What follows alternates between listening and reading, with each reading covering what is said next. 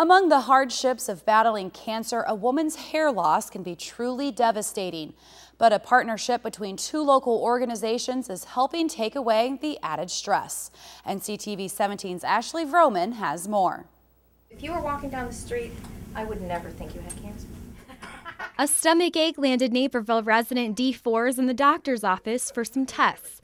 And by process of elimination, she learned about her cancer, already in stage four. Uh, you think it happens to other people, and there's no sign of having cancer. You don't know.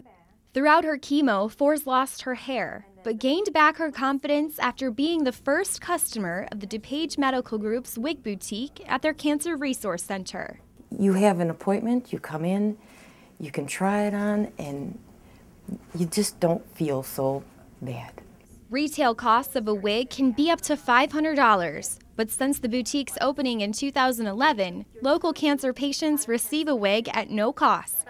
It does not matter who you are, what you are, what position in life you have.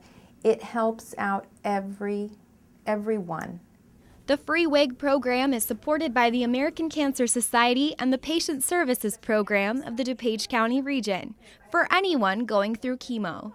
It's in the hospital where the patients are receiving infusion and the patient gets a wig in the wig boutique and walks through the infusion. You can just see how much more confident she is and that gives the other patients hope and it really gives a lighter atmosphere to the infusion center. Boutique staff members are trained volunteers who have oftentimes been struck by cancer in some way. They're there to help patients find their perfect wig, but that's not all they do. You know, we do a lot of listening too. A lot of times the patients come in and they just need to talk. I think the best thing is to, to find like the American Cancer Society and maybe other survivors or people who are going through it to share experiences and to be able to find ways to solve your daily problems. And there are many that come with chemotherapy. The American Cancer Society serves more than 5,000 communities nationwide. I'm Ashley Vroman for Naperville News 17. The boutique is just one of the many services provided by the American Cancer Society. The DuPage County region also offers free wigs for men and children.